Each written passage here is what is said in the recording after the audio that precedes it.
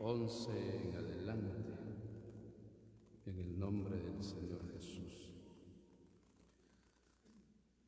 Entonces vi el cielo abierto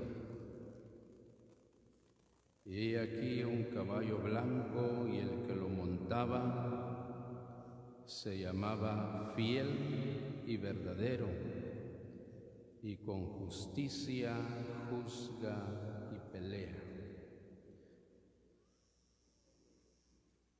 Texto 16. Y en su vestidura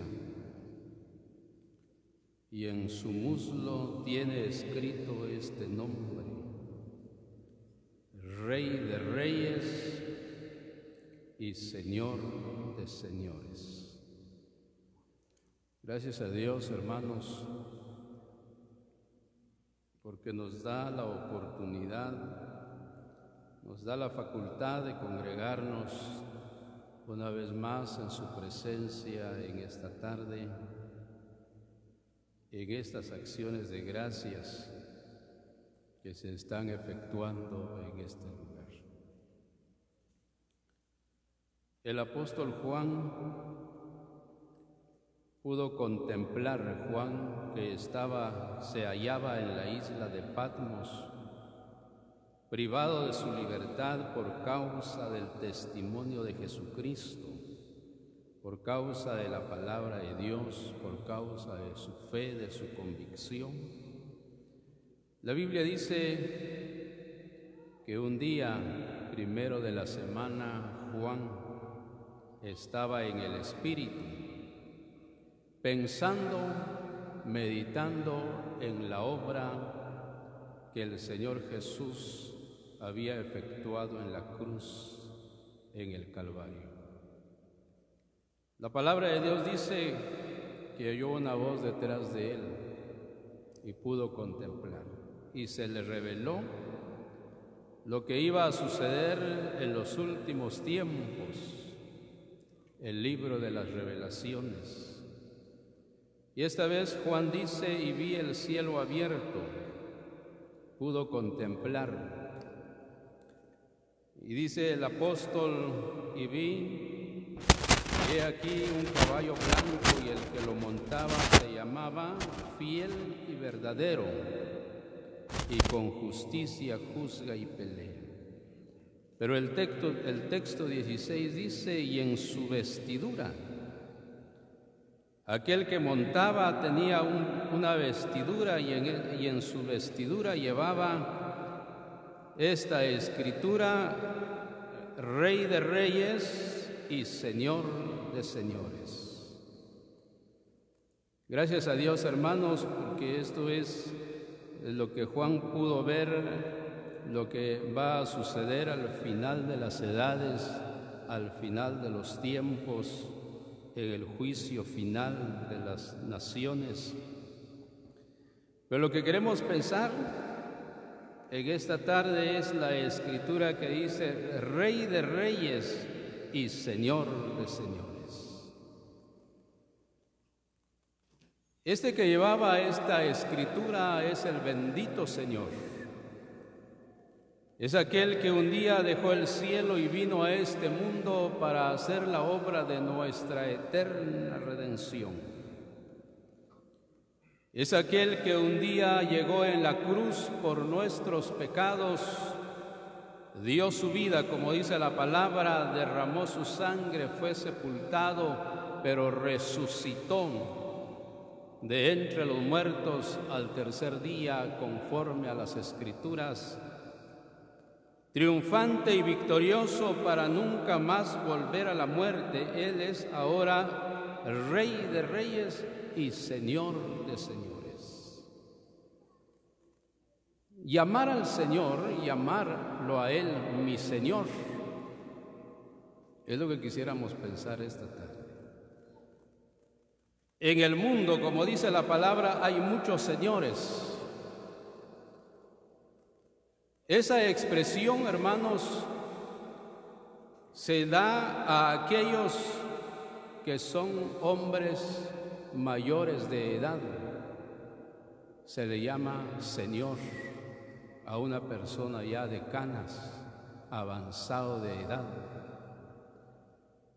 Se le dice Señor porque eso, porque Él merece respeto.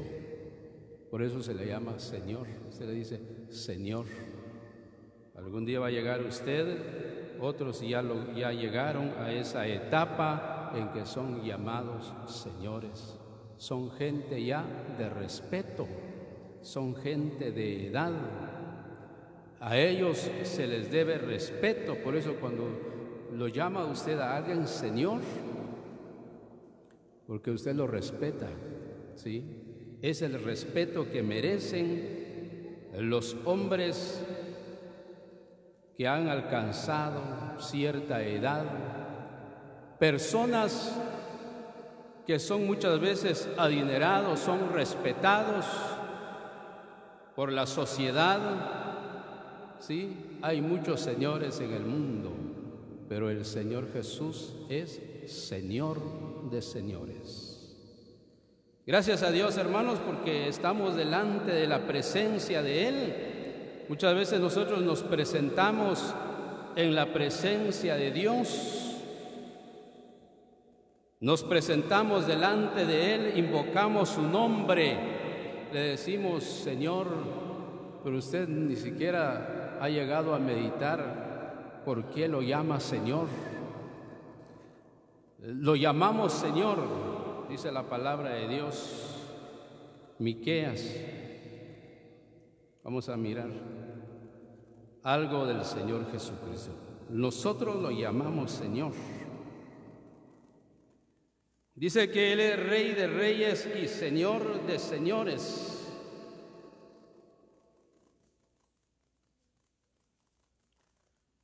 Gracias a Dios, amados hermanos, por la palabra del Señor, por las escrituras. Capítulo 5 del libro de Miqueas. Juan vio y dijo, vio a alguien, dijo él, vio al Señor Jesús con sus vestiduras y en su vestidura llevaba esa escritura, Rey de Reyes y Señor de Señores. Capítulo 5 de Miqueas, texto 2. Pero tú, Belén Éfrata, pequeña para estar entre las familias de Judá. De ti me saldrá el que será Señor en Israel, y sus salidas son desde el principio, desde los días de la eternidad. Tenemos aquí al bendito Señor, hermanos, a aquel varón santo, perfecto, que un día vino del cielo es que el bendito Señor, hermanos, Él ha sido antes, ¿sí? Él es eterno, el Hijo de Dios. Por eso a Él lo llamamos Señor, ¿sí? Nos acercamos a Él porque Él es eterno, porque Él ha sido siempre. Un día dijo el Señor, antes que Abraham fuese, dijo él, yo soy. Miqueas dice, de ti me saldrá el que será Señor en Israel y sus salidas son desde los días de la eternidad. ¿Sí? Desde los son dice la palabra de Dios y sus salidas son desde el principio, desde los días de la eternidad. Porque Él es el ángel de Jehová que apareció muchas veces en el Antiguo Testamento, hablando con los profetas, bendiciendo a aquellos que buscaron una bendición. Por eso Abraham se acercó a Él y dice, no se enoje mi Señor. Si usted mira la palabra de Dios, esa expresión lo usaron los santos hombres de Dios por respeto al Señor. Lo llamamos Señor porque Él merece toda alabanza, todo respeto, porque Él es eterno, ¿sí? Él es eterno, Él ha sido siempre, como dice la carta a los hebreos, Jesucristo es el mismo ayer y por toda la eternidad. ¿sí? Él no, no es porque cuando nació en Belén de Judea, ahí apareció, no. Sus salidas son desde los días de la eternidad. no tiene principio ni fin de días, dice la palabra de Dios. Hecho semejante, dice la palabra de Dios, según el orden de Melquisedec. ¿Sí? Pues ese ser maravilloso es el que vio Juan y en su vestidura llevaba esta escritura, Rey de Reyes y Señor de Señores. Porque Él merece, hermanos, que nosotros lo reverenciemos. Y amar a alguien Señor es porque lo respeta, es porque usted realmente piensa que aquel merece que me acerque a Él de esa forma, ¿sí? Nos acercamos a Dios, nos acercamos a Él y le, y le decimos, Señor, porque Él ha sido siempre, Él, es eterno. Y Él merece toda honra, toda alabanza. Y porque dio su vida, sí, porque dejó su lugar en los cielos y vino a este mundo para dar su vida en precio de nuestro rescate. Rey de reyes es el Señor, ¿sí? Señor de señores. ¿sí? Hay muchos señores en el mundo, pero ninguno como Él. Todos nacieron según la voluntad del hombre y murieron y sus nombres perecieron, pero el Hijo de Dios permanece por los siglos de los siglos. Por eso le llamamos Señor, hermanos. Y estamos en la presencia de Él, por eso le reverenciamos, por eso guardamos respeto, porque estamos en la presencia de Dios y las hermanas en este lugar se han levantado para ofrecer alabanzas a ese ser que es digno de toda adoración. Gracias al Señor, hermanos, por el Señor Jesucristo, Rey de reyes y Señor de señores. Bendito sea el Señor porque estamos en su presencia en esta hora, ¿sí? Estamos en la presencia del que es digno de toda alabanza, de toda honra, de toda gloria. Gracias a Dios, amados hermanos, por la palabra de Dios. ¿sí? Malaquías, Él es rey de reyes y señor de señores. Por eso lo amamos, le obedecemos, lo reverenciamos, porque Él es mayor que todos, mayor que los profetas que cualquier otro ser humano que ha estado sobre la faz de la tierra. Capítulo 1 de Malaquías. El Hijo, capítulo 1, texto 6 en adelante. El Hijo honra al Padre y el siervo a su Señor. Sí, pues, soy yo Padre ¿dónde está mi honra? Y si soy Señor, ¿dónde está mi temor? Dice Jehová de los ejércitos a vosotros, oh sacerdotes, que, menospreciáis mi nombre y decís en que hemos menospreciado tu nombre en que ofrecéis sobre mi altar pan inmundo y dijiste y dijisteis en que te hemos deshonrado, en que pensáis que la mesa de Jehová es despreciable. Tenemos aquí, amados hermanos, en esta tarde la voz del que Juan vio cuyas vestiduras llevaba la escritura Rey de Reyes y Señor de Señores.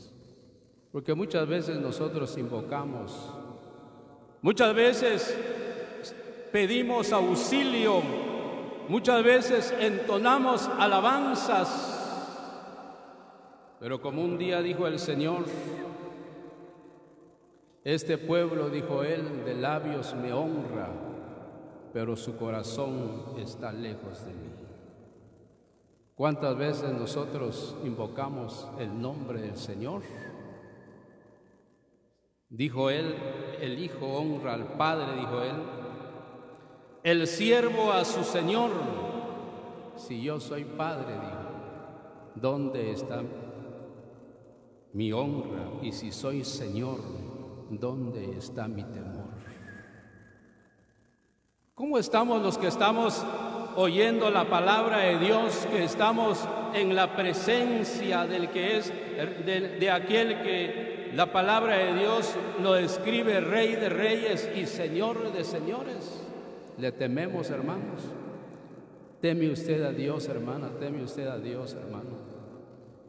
Hay ese temor en nuestros corazones respetamos a aquel que es digno de ser reverenciado, de ser honrado. ¿Cómo está nuestra vida? Dijo el Señor, si ustedes me llaman Señor, ¿dónde está mi temor? ¿Cómo está nuestra vida? ¿Cómo caminamos delante de Dios? ¿Cómo están caminando las mujeres en la presencia de Dios? Porque cuando estamos sentados nosotros aquí, como pasa una mosca y tenemos miedo de matarla. Pero ¿qué pasa cuando estamos afuera? ¿Qué pasa cuando no estamos en, la presencia de Él? Le tememos, hermanos, ¿sí? Guardamos su palabra, reverenciamos su nombre, realmente le hemos conocido. O solamente de labios y nuestro corazón está lejos de Él. Obedecemos ¿Le obedecemos o no, o no le obedecemos? ¿Guardamos sus mandamientos o están lejos de nosotros? Dijo el Señor. Me llaman Señor, pero ¿dónde está mi temor? ¿Sí? Porque al llamarlo a Él Señor es porque nosotros lo respetamos, lo, lo reverenciamos, le damos la honra que es digno de ser de que él lo reciba de aquellos que un día creímos en él. Sí, hermanos, gracias a Dios. Porque sabe que dijo el capítulo, el texto 11. Porque desde donde el sol nace hasta donde se pone, es grande mi nombre entre las naciones y en todo lugar se ofrece a mi nombre incienso y ofrenda limpia, porque grande es mi nombre entre las naciones, dice Jehová de los ejércitos. Oigamos, hermanos, aquel en cuya presencia estamos en esta tarde, no estamos en la presencia de un hombre común y corriente. Hermanos, debemos saber, debemos conocer la palabra de Dios, debemos saber por qué lo llamamos Señor, por qué invocamos a Él como nuestro Señor. Pero muchas veces nuestro corazón está lejos de Él. Nuestro corazón, hermanos, está tan engrosado que cuando oímos la palabra de Dios no la guardamos. ¿Sí?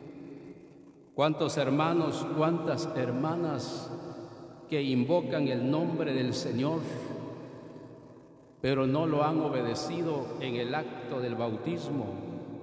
¿Cuándo va a honrar al Señor en su vida? Si yo soy Señor, dijo él, ¿dónde está mi honra? ¿Dónde está mi temor? ¿Cuándo me vas, cuándo me vas a honrar en tu vida? ¿Sí? ¿Cuándo voy a recibir esa alabanza? ¿Cuándo voy a ver esa obediencia? ¿Cuándo va a ver el Señor eso en la, en la vida de cada uno de nosotros? Si yo soy Señor, dijo él, ¿dónde está mi temor? ¿Dónde está, hermano? ¿Está en nuestros corazones o solamente de labios? Estamos en la presencia de Dios, pero muchas veces no estamos aquí, está nuestro pensamiento divagando en otros lugares. Estamos en la presencia del que es Rey de Reyes y Señor de Señores. Da gracias a Dios por la palabra de Dios. Juan dice, yo vi el cielo abierto y el que montaba tenía en su vestidura esta escritura, Rey de Reyes y Señor de Señores. Gracias a Dios por el Señor Jesucristo. Gracias a Dios por el autor de nuestra eterna salvación. ¿Sí? Por aquel que es digno de toda alabanza. Deuteronomios capítulo 10. Deuteronomios capítulo 10. ¿Dónde está mi temor? dice el Señor. Yo no sé qué le va a responder usted. ¿Cuántas veces usted se postra delante de Él? Le ha pedido auxilio a ese ser maravilloso, ha invocado su nombre, pero nosotros no caminamos en obediencia a la palabra del Señor. 17 en adelante, 10, 17. Porque Jehová nuestro Dios es Dios de dioses y Señor de señores, Dios grande, poderoso, temible, que no hace acepción de personas ni toma cohecho que hace justicia al huérfano y a la viuda, que ama también al extranjero dándole pan y vestido. Aquí hallamos el reconocimiento que hace este varón de Dios, aquel que había conocido, aquel que había oído su voz, aquel que lo llamó un día. Moisés que tuvo la dicha, hermanos, de hablar cara a cara con Él. Moisés que tuvo esa bendición de haber oído la voz de Él muy de cerca. Dice la palabra, esta vez Él dice, porque Jehová nuestro Dios es Dios de dioses, Señor de señores. Él es grande y poderoso, temible en obras y que no hace acepción de personas. Por eso hay que tener cuidado. Hay que ser conscientes, los creyentes debemos ser conscientes de nuestra forma de vida sobre la faz de la tierra, porque no es nada más decir que conocemos al Señor, invocamos su nombre, pero nuestro corazón está lejos de Él.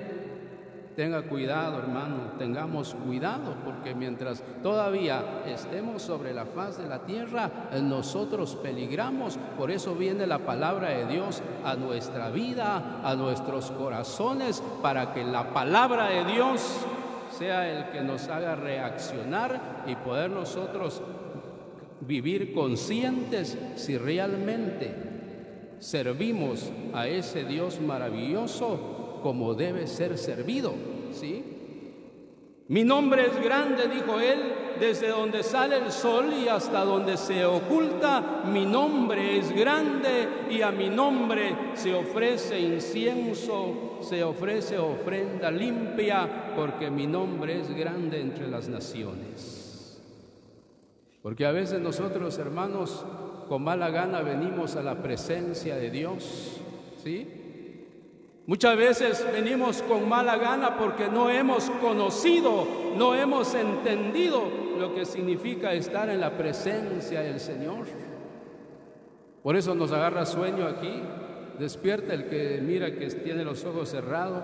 Porque estamos en la presencia de Dios, hermanos. ¿Sí? No estamos en un lugar, sí, insignificante estamos en la presencia de aquel que es Rey de Reyes y Señor de Señores. Debemos de procurar, debemos de aprovechar el momento para disfrutar la presencia del Señor. A veces nosotros queremos dar algo para el Señor y queremos dar lo malo, hermanos, lo que ya no sirve. Eso hubo en el corazón de los israelitas. ¿Sí? El corazón de ellos se desvió y hay muchos cuyos corazones se han desviado. Primero lo mío decimos nosotros y después vamos a ver si hay tiempo para estar en la presencia de Dios. Voy a ir si me da tiempo. Lástima de los creyentes que no hemos logrado entender dónde estamos y quién nos llamó. Bendito sea el Señor, los que con todo el corazón, los que disfrutamos estar en la presencia de Dios. Porque nuestro Dios es grande, dice la palabra de Dios, y Él no hace acepción de personas. Es justo. Sus juicios son justos, por eso no se moleste, no se enoje usted si algo viene a la vida, porque nosotros estamos, nuestro corazón está lejos de Él, ¿sí? Porque Él da el pago conforme a nuestras acciones, conforme a nuestras justicias, sí, hermanos. Gracias a Dios por la palabra de Dios. Libro de los Salmos, número 62. Yo vi el cielo abierto, dijo Juan, y en la vestidura de aquel que iba cabalgando está escrito, Rey de reyes y Señor de señores, porque Él es eterno, digno de ser alabado, digno de ser respetado, digno de ser honrado, digno de ser reverenciado, digno de que usted le obedezca. 11 y 12 los textos. Una vez habló Dios, dos veces he oído esto, que de Dios es el poder. Y tuya, oh Señor, es la misericordia, porque tú pagas a cada uno conforme a su obra. ¿Se da cuenta? Por eso, hermanos, como dijo el apóstol, muchas veces el apóstol Pablo pidió encarecidamente a los creyentes. Porque a veces nosotros sufrimos más de lo que deberíamos de sufrir. No porque Dios es malo, sino porque estamos recibiendo el pago, ¿sí? La recompensa de nuestras acciones. Una vez oí esto, dijo el salmista dos veces, una vez habló Dios, dos veces he oído esto, que de Dios es el poder, que de Él es la autoridad, que de Él es la grandeza, que a Él le pertenece la reverencia, que a Él le pertenece el respeto, que a Él le pertenece la honra, que a Él le pertenece todo, porque Él es grande y le pertenece la misericordia y que da el pago cada uno a cada uno conforme a sus obras. Estas acciones de gracias va a tener su fruto si se está haciendo con todo el corazón. El tiempo que estamos dando nosotros para estar en estas reuniones, si, lo si hemos venido con todo nuestro corazón, estamos actuando en justicia y vamos a recibir el pago porque el Señor a quien servimos es justo, hermanos. Da el pago conforme a nuestras obras. El salmista dice, una vez habló él, dos veces he oído esa voz, que de él es el poder, que de él es la grandeza. Estamos en la presencia de Dios. Estas acciones de gracias es porque Dios quiere traer su palabra a nuestros corazones, a hacernos conciencia para que cada uno podamos examinar nuestra vida delante de Dios si lo estamos honrando en nuestras vidas o estamos lejos de Él. ¿Cómo está nuestro corazón? ¿O está como dijo el Señor, que De labios nada más honramos al Señor.